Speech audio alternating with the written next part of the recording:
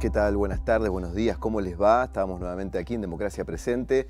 Este repaso que hacemos todas las semanas sobre estos 40 años de democracia con diferentes eh, protagonistas. Y ahora estamos con una amiga de la casa de la Universidad Nacional de La Plata. Estamos junto con Guadalupe Godoy. ¿Cómo va, Guadalupe? Muy bien. Bueno, Guadalupe, sos abogada, sos integrante de esta casa porque eh, actualmente sos directora de Políticas de Memoria y Reparación de la Secretaría de Derechos Humanos de la Universidad. ¿Es así? Es así. Bien. Gracias por estar y por supuesto nosotros repasamos estos 40 años de democracia y también hablamos ¿no? de historias de vida y, y de personas como vos que tuviste mucho que ver, sobre todo en los juicios por delitos de lesa humanidad aquí en la ciudad de La Plata. Papel protagónico después del año 2003 con las leyes de, de olvido que bueno, fueron sacadas por suerte y ahí empezó toda una nueva historia. Pero quería empezar a, charlar sobre el trabajo que estás haciendo en la Secretaría de Derechos Humanos de la Universidad y en particular de los legajos recuperados, que tiene mucho que ver con la memoria, con la verdad y con la justicia. Bueno, contanos cómo surgió este proyecto que se está materializando en varias facultades. Sí, estamos eh, no terminando, pero eh, llegando ya casi a un ciclo final. Eh, surge con dos cuestiones. Eh, una tiene que ver con el año 2012. El gobierno nacional en ese momento saca un decreto donde eh, resuelve reparar los legajos de los trabajadores y las trabajadoras del Estado eh, que habían sido víctimas del terrorismo de Estado y que en sus legajos en general aparecía la leyenda abandono de servicio. Entonces, bueno, tiene que ver con un momento en las disputas de la memoria en la cual los juicios y el hacer justicia también implicaba poder eh, empezar a hacer una relectura de lo que significó la dictadura ya en clave de justicia y no de impunidad. ¿no? Y en parte de ese hacer justicia y en parte de pensar políticas reparatorias, aparece también esa misma necesidad en la universidad. Una universidad que tuvo 800 víctimas directas del terrorismo de Estado, en, digamos, integrantes que habían pasado, que eran en ese momento estudiantes, docentes, trabajadores y también graduados, y además una universidad que, como decimos en esas reparaciones, eh, fue víctima a partir de la intervención que sufrió en manos de la Marina, pero también a partir de esa propia intervención se transformó en victimaria, siendo parte del esquema represivo. ¿no? Eh, la idea de reparación no es una idea solo de reparar en términos individuales a quienes fueron víctimas o a sus familiares, es una idea de reparación institucional, también de revisar los propios mecanismos del genocidio que involucraron a la institución y que en algunos casos muchas veces quedan ¿no? dando vueltas por ahí. Recuerdo en la década de los 90 que se hicieron muchísimos homenajes a los desaparecidos en todas las facultades de la universidad y esto como que viene a completar un poco el círculo ¿no? de esos homenajes realizados por familiares, pero bueno, ahora la universidad sí. como institución se hace cargo y le entrega entonces a los familiares estos, mmm, estos documentos tan importantes, sí, ¿no? Y qué bueno que lo digas, porque mm. hay como varias formas de ver las políticas institucionales, ¿no? Una es pensar, bueno, se gestan y en realidad justamente podemos pensar en la reparación de, de legajos como un punto de llegada de esas políticas que en los años 90 en general la hicieron los familiares, los compañeros y compañeras de militancia y también de las facultades, ¿no? las comisiones de memoria, recuerdo y compromiso, eh, tenían algunas personas que por ahí participaban en las gestiones, pero no era una cuestión eh, como ahora, que es desde lo institucional. Entonces también en, en esto hoy lo que hay es desde la institución el reconocimiento de esas políticas y la apropiación en el buen sentido de esas políticas, ¿no? Es decir, eh, pensar en todo caso cómo desde las gestiones lo que se lleva adelante es la institucionalización de políticas del campo popular. Y eso, eh, bueno, me parece que es una de las cosas más hermosas. Los listados son aquellos originales, en las resoluciones tratamos de dar cuenta en cada unidad académica esos recorridos y esas participaciones. Y, bueno, entonces hay algo ahí muy colectivo de lo que se construye. Yendo a tu historia de vida eh, particular, bueno, sabemos que te recibiste en el año 97 de abogada, fines en diciembre del 97, y que recién estrenaste tu matrícula federal como abogada en los juicios por la memoria en Mar del Plata. Ciudad donde naciste, donde egresaste y donde empezaste a hacer tus primeras armas como, como abogada, ¿no? Sí. ¿Qué recordás de aquel...? Eh, esa etapa, bueno, yo llego al movimiento de, derechos humanos desde la política, ¿no? Eh, militaba activamente a nivel político en el Partido Comunista. Eh, militaba en la Liga Argentina por los derechos, en ese momento eran del hombre, ahora humanos. y ahí, en realidad, las abogadas y los abogados de derechos humanos éramos como muy imprescindibles eh, por lo que significó toda la etapa de lo que llamamos la criminalización de la protesta, ¿no? las luchas contra el neoliberalismo que terminaban siempre con represiones y detenciones masivas. Y en realidad a partir de ahí fue el involucramiento. Y bueno, después al juicio por la verdad, en realidad eh, la responsable de eso tiene nombre y apellido, es Yamila Zavala Rodríguez, que era compañera mía en la facultad y que un día me, pidió que la acompañara a una reunioncita, me dijo. Y bueno, y ahí, y ahí arrancamos. Yamila de Hijos Mar de Plata. Yamila de Hijos, exacto. Ella eh, compartimos mucho en la universidad y yo era como su amiga, su amiga zurda, digamos. Sí, sí, sí, sí. Em, y bueno, y cuando arranca las primeras, la primera reunión para ver cómo se conformaba el juicio por la verdad, fue ella la que me, la que me pidió que la acompañara, ¿no? Eh, así arrancamos. La semana pasada estuvimos acá con Marta Húngaro, que también nos hablaba de esa experiencia de los juicios por la verdad en la ciudad de La Plata. Imagino que Mar del Plata debe haber sido bastante similar, ¿no? Sentar las primeras pruebas para que después, bueno, vengan los juicios con sentencia. En aquel momento quizás no se lo valoraba tanto el juicio por la, eh, por la verdad, por la verdad porque no había sentencia, pero después, eh, a lo largo del tiempo, se vio que era una importancia clave y fundamental. ¿Pasó lo mismo en Mar del Plata? Pasó lo mismo, de hecho eh, las experiencias se mezclaban ya en ese momento porque varios de los organismos de derechos humanos habían formado una red de abogados para poder pensar estas cuestiones. Yo me acuerdo que me trajo, nos trajo a varias de las jóvenes abogadas, eh, Negrita Segarra. Eh, la primera reunión fue acá en la JB, en el camping de la JB. Ahí conocí a Marta Bedio de la PDH, estaban bueno, dos compañeras de hijos en ese momento, Sofía Carabelos y Marichu, María mm. Esther Alonso Morales.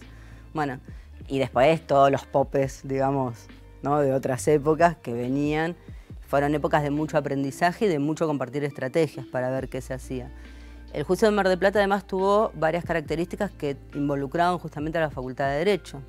Por ejemplo, acá se hace en la Cámara Federal, pero allá no podíamos porque el fiscal de la Cámara Federal, el, el Dulodum de allá, era de Marchi, mm. eh, que bueno, que finalmente terminó también él eh, condenado por delitos de lesa humanidad porque era miembro de la CNU. Exacto. Eh, y además había como un atravesamiento muy potente con la propia Facultad de Derecho, qué sé yo, Hoff, responsable en parte de lo que fue el ocultamiento en la noche de las corbatas, era docente. Yo, bueno, una de mis últimas materias la rendí con él. Eh, había ahí como un entramado muy, muy conflictivo, ¿no? Eh, enseguida tuvimos denuncias. Bueno, mi primera denuncia fue, habían logrado introducir un testigo falso, digamos, que después decía que nosotros, bueno, un desastre. Era, fueron épocas bravas. Eh, bravas. Y a la vez, a mí al principio me generaba como una cierta ambivalencia esta cosa, esa sensación de impunidad, ¿no? De decir, bueno,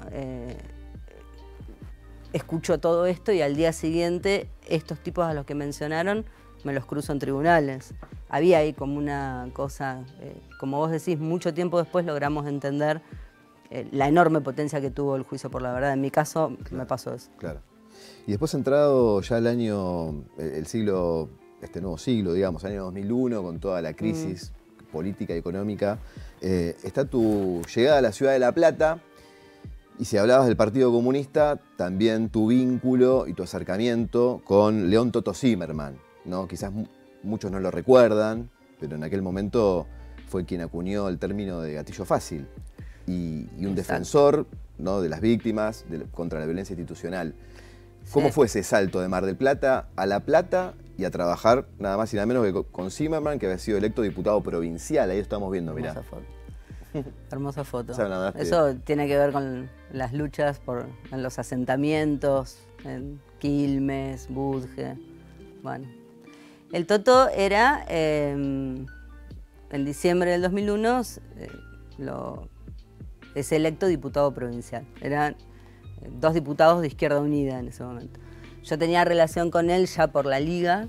Digamos, el Toto funda Correpi porque el esquema tradicional de los organismos de derechos humanos no parecía el más adecuado para afrontar esa nueva realidad. Él, eh, tuve el privilegio de leer la carta que él envía diciendo tenemos que pensar que el, enemigo interno, el subversivo de los, de los 70, hoy es el pibe pobre, morocho y excluido del conurbano, ¿no? Y que entonces había que pensar nuevas herramientas y nuevas estrategias en la defensa, porque no era fácil en ese primer caso, que es de los pibes de Budge, que bueno, o sea, ya no estábamos hablando de la defensa de luchadores populares, ¿eh? estamos hablando de cinco pibes tomando cerveza en una esquina, ¿no? Y él peleó muchísimo por eso. Entonces, cuando él eh, es elegido, eh, dice que el perfil que quiere tener para su diputación, más allá que siempre pasa lo mismo en los partidos de izquierda, tenés uno solo, entonces se transforma en multi, multitodo. Pero bueno, él quería como dos cuestiones específicas, lo que tenía que ver con salud, que la asesora fue Kita Gorban, ¿no? la, creadora de la, idea de soberanía alimentaria. Hace poco le dimos el honoris acá en La Plata y eh, el eje de derechos humanos. Entonces, bueno, mi compañero también tenía que venir y, aquí llegué. Ahí estamos viendo otra foto, bueno, recién en la marcha, ¿no? Con el tema del caso de Budge, junto con Agorrepi. Sí, esa, esa foto em, es frente al Ministerio de Seguridad de acá de La Plata, cuando se dieron los casos que llamábamos de los escuadrones de la muerte, cuando Granados era intendente y empezaron a aparecer un montón de pibitos asesinados en, su distrito. Y con la llegada del Toto Sierman a ser diputado provincial, bueno, todos esos reclamos llegan al gobierno, al Estado, a la legislatura, ¿no? Eh, casos que estaban silenciados, que por ahí tenían trascendencia periodística, mediática, pero no una respuesta política, como el que la, que buscaba dar el Toto.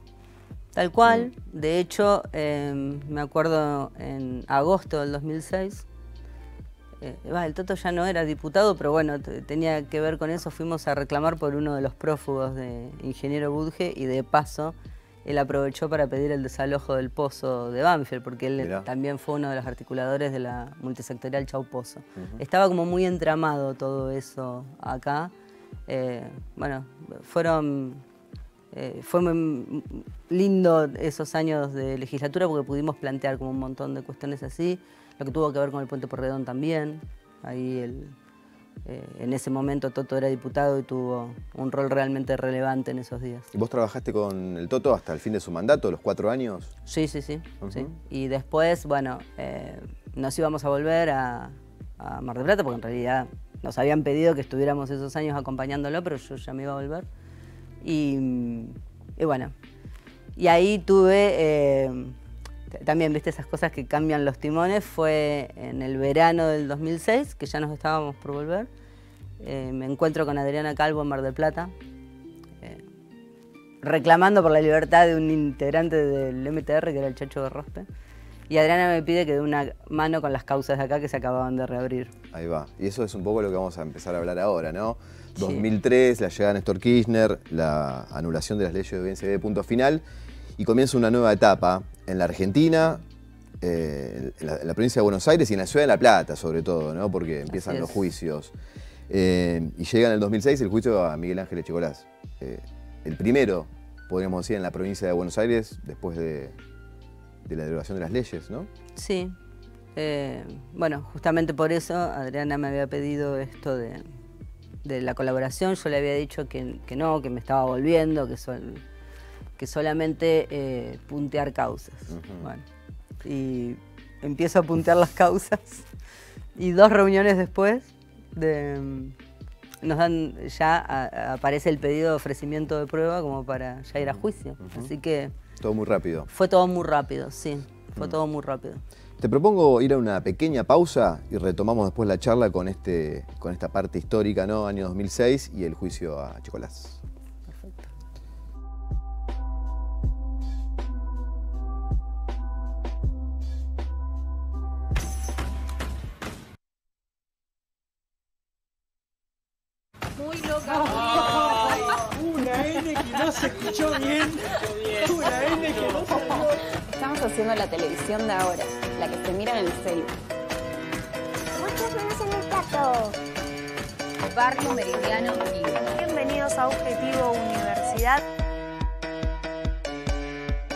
¿Va?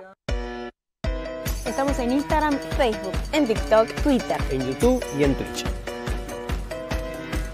Soy médico veterinario. Soy licenciada en nutrición. Soy odontólogo. Queremos hablar de educación. Esto es Otras Crónicas y hoy estamos en el puerto La Plata.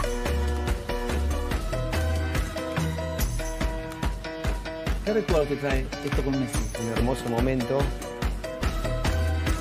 Te presentamos expertos en UNLP TV. UNLP.tv, el canal de la Universidad Nacional de La Plata. Un nuevo mercado emerge desde el edificio donde funcionó el histórico Bazar X. Baxar Mercado, tu punto de encuentro en la ciudad. Baxar Mercado, calle 51, entre 5 y 6. Nos cruzamos por ahí.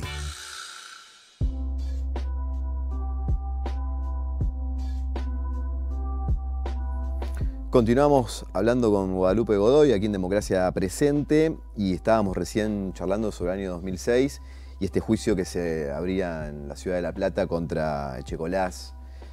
Bueno, y vos eras abogada de una de las querellas, ¿no?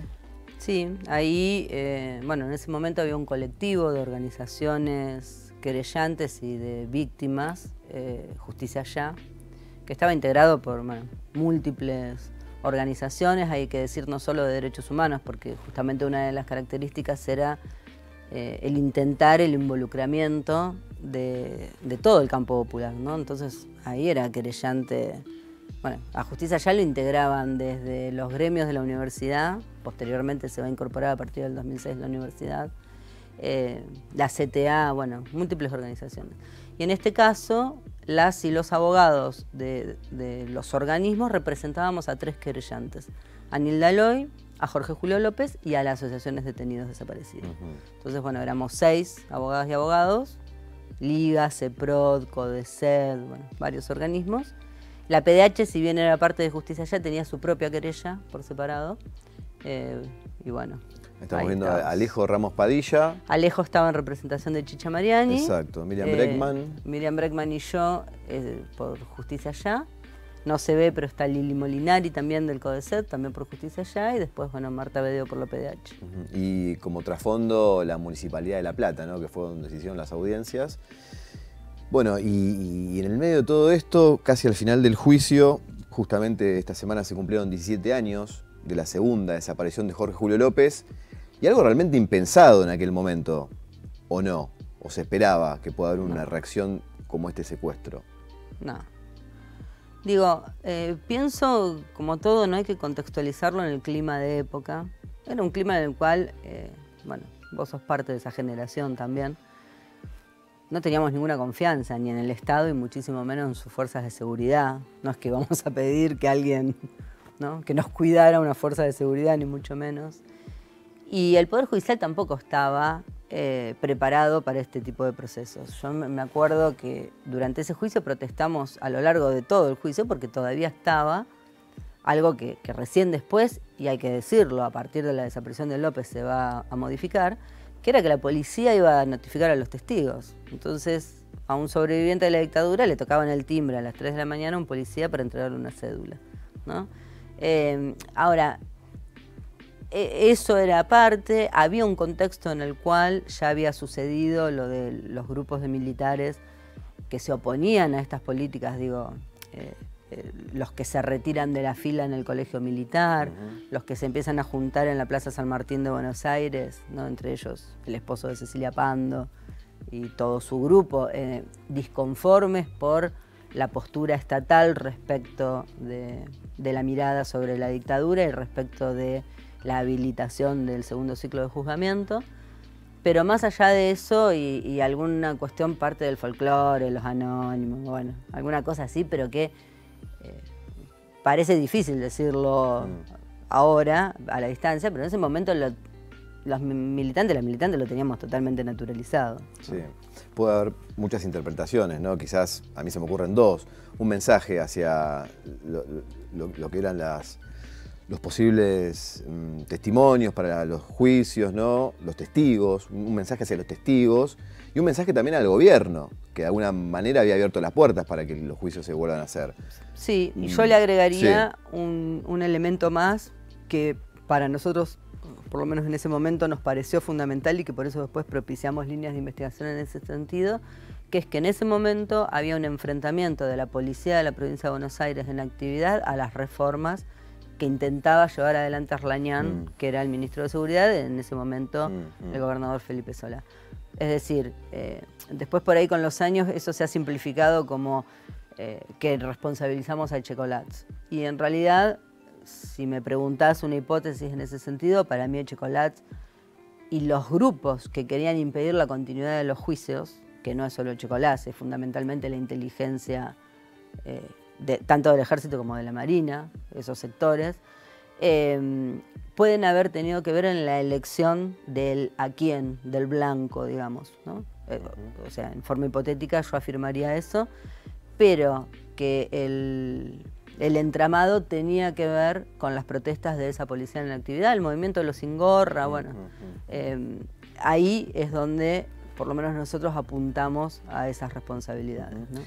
Y estos últimos días como que volvió, ¿no? Eh, la figura de Mm. Checolás. eh, bueno, falleció el año pasado en prisión, como corresponde, En cárcel común. con muchísimas condenas, ¿no?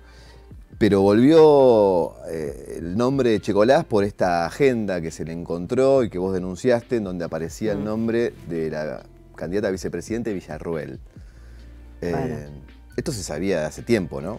Nosotros lo sabíamos desde siempre porque justamente esto, que quiero aclarar, no es una agenda, es un cuaderno. Mm. Y digo esto porque, mm, bueno, el estar en una agenda remite a cosas que no están buenas, ¿no?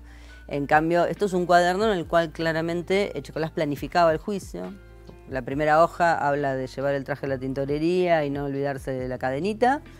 Eh, esta, que es la tercera hoja, tiene que ver la primera parte con las relaciones políticas, de- del lobby político, digamos. Hay otra donde directamente dice Mastandrea, ver a los jueces, bueno, como... Em, y tiene que ver justamente con esta línea, o sea, el cuaderno eh, se, se obtiene en un allanamiento a Marcos Paz, que partía de esa cuestión de pensar quiénes, quiénes eh, o qué sectores son los que quieren impedir que continúen los juicios, y las visitas de Villarroel, que también figuran acá, eh, también tiene que ver con lo mismo. ¿no? Eh, de hecho, hace poco, bueno, y a partir del revuelo que se armó con esto, eh, estaba buscando algunos papeles y encontré un pedido en el cual nosotros lo que pedimos que se incorpore al bike, que era el sistema de entrecruzamiento telefónico, el, este teléfono de Villarroel. ¿no? Que después, bueno, fueron peleas enormes porque nos incorporaron la mayoría de las cosas. Ante la pregunta que se le hace a Villarroel, ¿no? De que ha estado con diferentes genocidas, con el mismo Videla, ¿no? Ella dice que, bueno, estaba haciendo un libro, estaba buscando información. Eh, eh, Sí. Es poco creíble, digamos, ese argumento. Es, eh, no, sí, eh, no, no es creíble y, y a mí me parece que también sirve para distinguir dos cosas, ¿no? Una cosa es el negacionismo, que es la mirada que se puede tener sobre la dictadura. Bueno, puede ser discutible o no, pero cada uno puede pensar lo que quiera, ¿verdad? Y otra cosa es la militancia activa en favor de la impunidad, que es lo que hace Villarruel desde por lo menos el año 2006. Porque también hay una cosa acá de la nueva política que decís, cuánto nueva política es si en el 2006 ella estaba con Cecilia Pando ingresando al penal y en el 2007 estaba viniendo a las audiencias del juicio contra el cura Bombarnich. Ah, ¿no? bien. Eh, y esto lo digo porque eh, cuando se forma el CELTIB, el CELTIB está, que es la organización que ella preside, eh, está pensada con mucha inteligencia, está pensada por, por gente que efectivamente se ha tomado el trabajo de pensar, bueno, cómo se da una disputa de sentido en torno a la dictadura que no sea desde un discurso hecho por dinosaurios que participaron del genocidio. Entonces aparecen primero otra marplatense, Karina Mujica, hay que recordar, en los años 90, que después termina, bueno, eh, corrida de escena por un scratch que le hace un programa de televisión, Pando, que estaba como más vinculada, ¿no? Porque era la esposa de un militar, y después aparece ella con un discurso que a simple vista, si te agarra distraído, pareciera ser un discurso, el discurso humanitario. El CELTIB, su discurso, las denuncias que han hecho respecto de las violaciones de derechos y garantías de los presos políticos, han ido a la Comisión Interamericana, lo hacen en, bueno, en las escenas internacionales, sobre todo bancadas por fundaciones libertarias de Estados Unidos.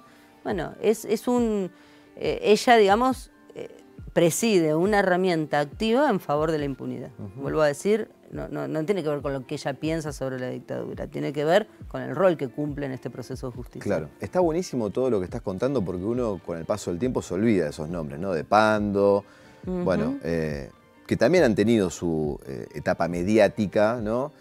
Pero bueno, esto nos da la pauta de que esta señora no, sale ahora de la nada, sino que es una ferviente, activa, eh, militante contra las políticas de memoria. Por eso mucho se le achaca también de que el padre de ella es militar. Puede ser cualquier cosa el padre. El tema es que está reivindicando como su padre el genocidio y lo que vos decís, pidiendo viva voz la libertad de los genocidas. Tal cual, tal cual. Eh, primero pienso, mirando esta foto de, esa marcha del 2 por 1 al contrario, ahí fue justamente la irrupción de los hijos desobedientes o de los ex hijos. Digo, yo recuerdo para todos nosotros y nosotras el impacto enorme que fue escucharla a Mariana Dopaso por primera vez, mostrando además que acá no se trata de herencia, se trata de lo que cada uno, cada una elige, mm. de qué lado se planta de, la historia. Perdón, Mariana Dopaso, la hija biológica de, Checolás. Exactamente. Mm. Em, porque escuché que Villarroel estos días trataba de simplificarlo en esto de las herencias y no, tiene que ver, vuelvo a decir, con ese rol tremendamente activo que han tenido en estos años. Y en este presente, ¿no? en este 2023, casi a 40 años de conquistada nuevamente la democracia, bueno, esta señora tiene posibilidades de ser vicepresidenta, la ultraderecha posibilidades de llegar al poder. ¿Cómo, ¿Cuál es el mensaje que vos le podés dar después de todo tu camino ¿no? en defensa de los derechos humanos? ¿Qué mensaje se le puede dar a la juventud ¿no? que apoya o avala, quizás con poca información, a estos personajes?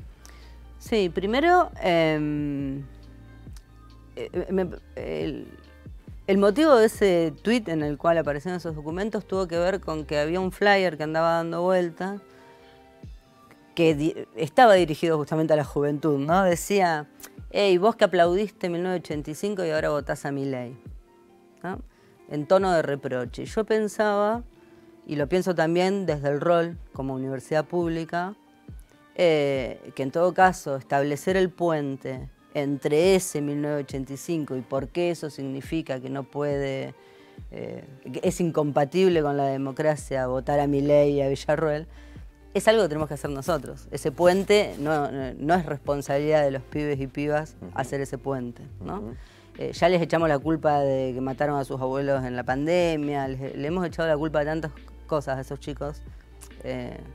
después también tener en claro que ese voto no está expresando la mirada sobre la dictadura, que en todo caso está expresando las ausencias o, lo que la democracia no ha podido eh, dar y construir en materia de derechos. y, entonces ahí, bueno, eh, es nuestro rol mostrar por qué eh, esta fórmula, y lo digo específicamente porque me parece que hay que decirlo, representa, en el caso de su candidato a presidente, el proyecto económico político de la dictadura. Y en el caso de su candidata a vicepresidente, el proyecto, la reivindicación del plan sistemático de exterminio que fue necesario para llevar adelante ese proyecto político económico. Pero me parece que es un rol incluso de nuestra Universidad de la Educación Pública poder mostrar eso. ¿Y te sorprende que estos debates salgan nuevamente? No, pensando que ya eh, mm. hay 1.200 genocidas condenados, muchísimos juicios, eh, la Argentina es un faro en el mundo, pero bueno, estos mm. debates siguen estando. ¿Te sorprende o no? No, mm. porque soy marxista. porque los sentidos siempre están en disputa, porque efectivamente los juicios han sido un escenario privilegiado para disputar ese sentido, pero siempre las he, he, pensado, y creo que muchos de los que participamos ahí, como una herramienta en función de eso que no termina no termina y si vemos el mundo, vemos cómo resurgen hoy los discursos neonazis, vemos lo que está pasando en, Italia y el fascismo, entendemos que, bueno, mientras, el, mientras el mundo tenga un capitalismo feroz como el que hay, eh, esas disputas son permanentes. Guadalupe, muchísimas gracias por estar acá y bueno, eh, nada, a seguir trabajando y a seguir eh, dando clases de historia, podríamos decir, pedagogía de lo que pasó para que no se repita. Gracias. A vos.